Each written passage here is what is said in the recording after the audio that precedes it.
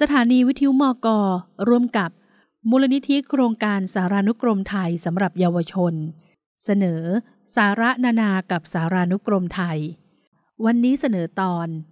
การทำแท้ง สาระนานากับสารานุกรมไทย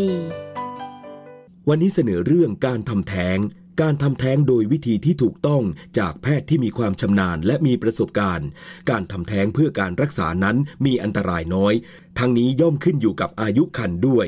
ด้วยเหตุที่กฎหมายอนุญาตให้ทำแท้งได้ในวงแคบมาก โดยมารยาททางการแพทย์จึงไม่มีแพทย์คนใดยอมรับทำแท้งให้ เพื่อหวังอมิตสินจ้างที่ผิดกฎหมาย อย่างไรก็ตาม อาจจะมีแพทย์ที่กล้าหาญบางคน กระทำโดยไม่คำนึงถึงจรรยาบรรณและกฎหมายบ้านเมือง การทำแท้งที่นอกเหนือจากการกระทำเพื่อการรักษาแล้ว ถือว่าผิดกฎหมาย และเป็นความผิดทางอาญาทั้งผู้ทำและผู้ถูกกระทำ ท่านที่สนใจสาระนานาเพิ่มเติมในสารานุกรมไทยสำหรับเยาวชน สามารถเรียนรู้ได้ที่ w w w